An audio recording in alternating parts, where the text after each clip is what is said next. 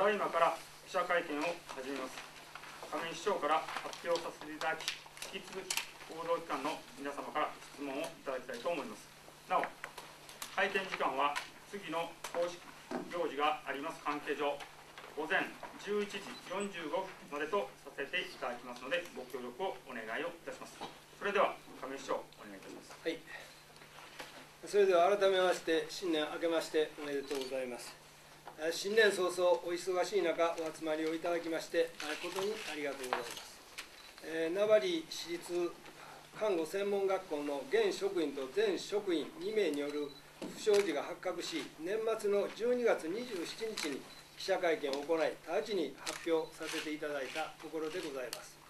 私といたしましても、財政厳しい中、職員が一丸となって、健全化に向けた取り組みを進めておりますさなか、このような事件が起きましたことは、晴天の霹靂でありますとともに、痛恨の極みとしか言いようがございません。また、市民の皆様には多大なるご迷惑を、またご心配をおかけいたす結果となりましたことに対しまして、心より深くお詫びを申し上げる次第でございます。さて、年末に副市長よりご説明申し上げましたとおり、関係者等への聞き取りも含め、年末年始にかけ、実施をいたしました調査結果並びに、その経過についてご報告を申し上げます。同時に、職員の処分内容並びに今後の対応等について、私と副市長および本日出席いたしております担当の部長等からご説明申し上げますので、よろしくお願いを申し上げます。最後に、今後このようなことが二度と起こらないよう、職員に対しましては、コンプライアンス教育の徹底を図るとともに、市民の皆様の信頼回復に向けて、全力で取り組んでまいりたいと考えておりますので、ご理解賜りますよう、よろしくお願いを申し上げます。なお、本事件の重大性に鑑み、刑事告訴を本日1月4日より法的な手続きに入らせていただきますことを申し添えさせていただきたいと思います。また、本日正午より仕事始めの式を予定をいたしてございますので、よろしくご理解をいただきますようにお願いを申し上げたいと思います。それでは、それぞれからご報告を申し上げます。えーそれでは資料に基づきまして、えーご説明を申し上げたいと思います。えー別紙1をご覧をいただきたいと思います。別紙1につきまして、私の方からご説明をさせていただきます。まず、う調査の対象期間でございますけれども、当該職員が在籍をしていた平成18年以前に遡りまして、平成15年度から23年の年度の9年間について実施をいたしました。調査の方法といたしましては、各年度に看護専門学校の学籍簿と実際に会計に納入された受験料の差額を不明金として集計をいたしました。具体的には実際に学生が納入されるべき授業料と収入済み通知書1071件とを突合をいたしました。なお、お授業料の調査と並行いたしまして、えー授業料と同様に看護専門学校において現金の収入をいたしております受験料及び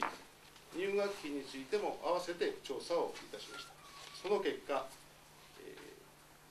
授業料以外においても入学費について、えー不明金のあることが判明をいたしました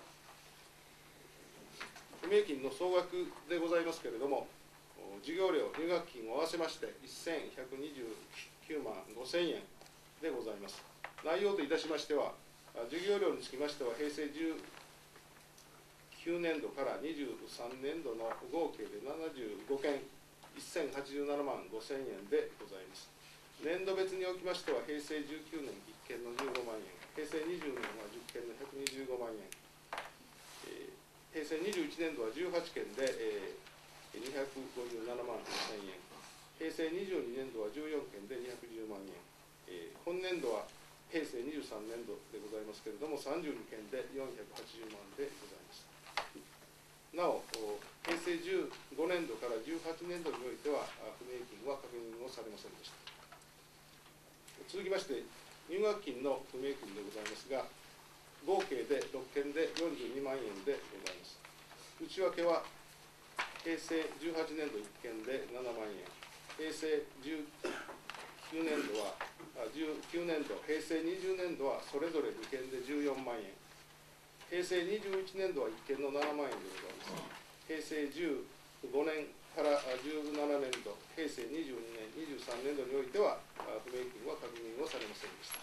以上が今回の調査結果でございます。えーそれでは私の方から本件不祥事につきまして今日までの経過並びに事件の内容をご報告を申し上げます。別紙にをご覧いただきたいと存じますが、えー昨年12月21日に看護専門学校教務所務室現職員から、えー私立病院事務局次長に看護学生から受け取った授業料の一部を抜き取り全職員に平成22年9月から平成23年9月までの間何回かに分けて渡していたが返金されないことの、えー相談がございまして事件が発覚したものでございます。この相談を受けまして同日市長及び副市長に概要を報告するとともに私立病院事務局を中心に本来収納すべき授業料と実際の収納額に差異のあることを確認したところでございましてその結果につきましては先ほど病院副院長が申し上げました別紙1の通りでございます。その後、えー事実関係の確認を行うために、えー所長部の確認を含めまして、事務的な調査を行うとともに、並行して、昨年12月24日から12月30日までの間、関係していたあ現職員、えーこれは女性でございますが、への面談、聞き取りをお都合4回、それから全職員、えーこちらにつきましては男性でございますが、えー都合5回、それから参考人として元職員、えー男性でございますが、あ都合2回をのお面談聞き取りを実施したところでございます。この調査結果につきましては、えー全職員、えーが平成19年度から平成22年度5月までのまで現職として事業料の一部を抜き取っていたこと。また平成22年6月以降現在まで現職員を通じ本来必要な会計事務処理によらず事業料の一部を抜き取らせ数回にわたり受け取っていたことが判明いたしました。このお授業料の一部抜き取り、一部を抜き取った理由といたしまして元職員が中途退学生への授業料還付金を個人で立て替えているので元職員に返還する必要があった。ためその授業料を受け取り個人的に預かっていたと主張をいたしておりますがしかし元職員に事実確認を行ったところ授業料立て替えの事実及び返金を求めたことはございませんでした。なお、不明金につきましては関係職員2名から昨年末までに全額返還をされているところでございます、これらのことにつきまして、え関係する職員から事情聴取を経た後、え供述書を作成し、えその関係職員から署名、え捺印を行わせたものを添付して名張市職員懲戒審査委員会に諮問をいたしたところでございます。懲戒し懲戒審査委員会では昨年12月27日12月30日平成24年、えー本年でございますが1月2日1月3日の都合4回の審査委員会を開催の後審査結果の答申をいただきまして市長に報告を行い処分を決定いたしたところでございます。それでは引き続きまして私の方から、えー関係職員の処分内容について、えーご説明を申し上げます。処分対象といたしました職員につきましては関係職員2名と管理監督責任のある上司、えー現元含めてでございますが6人合計8人に対する処分でございます。まず、えー1全看護専門学校出院39歳男性、えー処分年月日は平成24年1月4日付、えーこれは全て、えー以下同じでございます。処分内容につきましては懲戒免職処分の理由でございますが平成19年度前期分から平成22年度前期分までの看護専門学校授業料の一部を抜き取りさらに教務所務室長の職を、えー退いた後も現職員を騙し平成22年度後期から平成23年度後期分までの授業料の一部を着服し続けていた事実は地方公務員法第29条第1項第1号及び第3号に該当するとの理由からでございます。これの、えー法律の条文の写しについては別点付けさせていただいている通りでございます、えー、2現学看護専門学校主査42歳女性定職6ヶ月処分理由につきましては平成22年度後期分から平成23年度後期分までの看護専門学校授業料の一部を全職員の指示により抜き取り渡していたという事実は地方公務員法第29条第1項第1号及び第3号に該当するとの理由からでございます。3看護専門学校学校長51歳女性減給10分の11ヶ月。理由につきましては現職員及び全職員が看護専門学校授業料の一部を抜き取り懲戒処分を受けたことに関して上司として日常業務等の指導監督に適正を欠いていたと認められる。これは地方公務員法第29条第1項第1号及び第2号に該当する、えー以下、えー上司については理由処分理由は同じ同じでございます。4、えー事務局長59歳男性減給10分の11ヶ月。5事務局次長55歳男性減給10分の1ヶ月。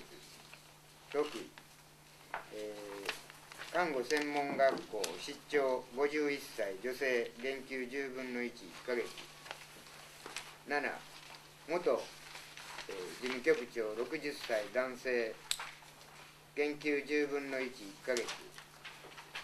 8元事務局長58歳男性減給10分の11ヶ月でございます。以上が関係職員上司等の、えー処分の内容でございますがなお市長副市長については2月にも2月中にも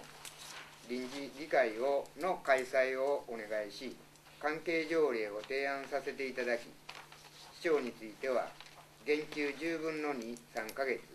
副市長については減給10分の13ヶ月の措置をいたします。以上が今回の事案にかかる処分の内容でございます。続きましてこの事件を受けまして名張市としての今後の対応と開発防止策についてご説明を申し上げたいと思います。こうした事案の防止策といたしまして本日付で副市長から各部長を通じ全職員に適正な会計事務処理の周知徹底についての文書を本日付で通知をしたところでございます。当該文書については参考に添付をさせていただいております。また特に現金を扱う部署の組織体制について問題がないか検証確認を行うとともに職員の懲戒処分基準についても先ほど申し上げました臨時会に関係条例のご提案をさせていただき処分の厳格化についても見直しをしてまいりたいと考えております。さらに全職員を対象としたコンプライアンス研修を本年1月中に行うとともに今後年1回定期的に開催し法令遵守と倫理規範制度を確立し公務の公正な遂行と市民の皆様の公務に対する信頼の確保を図ってまいりたいとしているところでございます。なお今回の事案が発生しました看護専門学校におきましては具体の再発防止策といたしまして1看護専門学校の受験料入学金及び授業料は窓口での現金収納は行わず銀行振込による収納に変更してまいります。2看護専門学校で行っておりました経理事務は